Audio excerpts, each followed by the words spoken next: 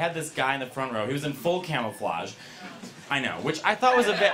Camouflage is for two people uh, gays in Brooklyn who are like, I'm turning a look, my friend Patty, or people who want to shoot things. So he's in the front row, and he was not Patty. So.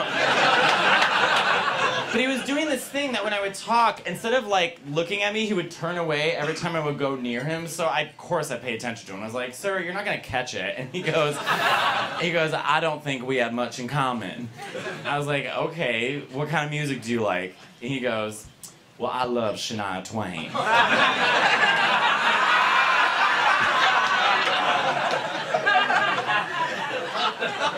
we have a lot more in common.